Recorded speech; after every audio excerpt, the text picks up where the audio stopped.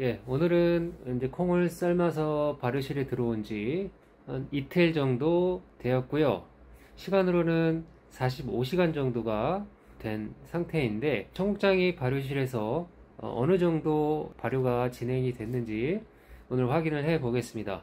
어제는 어, 하루 만에 발효가 어느 정도 됐는지 어, 영상으로 짧게 찍어 봤는데 어제는 발효가 약간 덜 돼서 냄새도 생콩 그대로 수준이었고 지는 좀 났는데 발효는 아직 좀 덜된 어, 모자란 상태였는데 하루가 더 지난 오늘은 어떤지 한번 결과를 보도록 하겠습니다.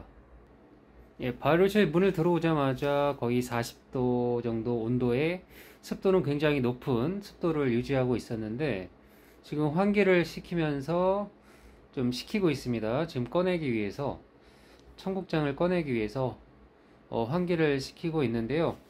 온도가 내려가면 이 가스가 나오기 시작합니다. 청국장에서 예, 지금 발효 트레이 중에 하나를 무작위로 선택을 해서 이렇게 발효가 얼마나 잘 됐는지 지금 이제 이틀이 지났고 45시간이 지났는데 발효가 잘 됐는지 확인을 해 보려고 하고 있습니다. 네, 일단 겉은 살짝 이제 습기가 없는 상태고요. 이제 안쪽에 습이 많죠. 아무래도 겉표면은 이제 수분이 좀 날아가는 쪽이다 보니까 어, 이렇게 다소 어, 안쪽보다는 습기가 없는 편입니다.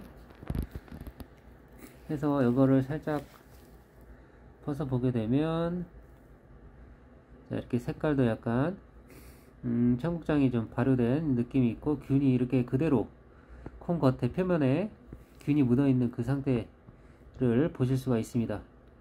이제 이거를 주걱으로 이렇게 저으면은 끈적끈적한 실이 나게 되는 거죠.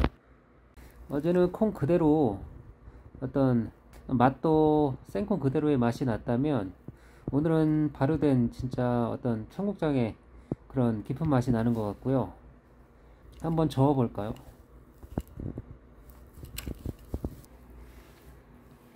예, 이렇게 끈적한 실이 잘 많이 나가지고 어, 발효가 잘 된 것을 볼 수가 있죠.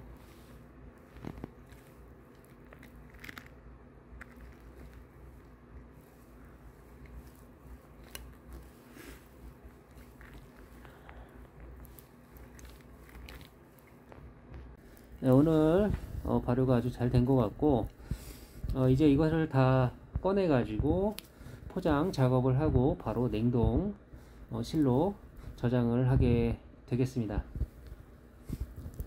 네 아주 잘 됐네요. 감사합니다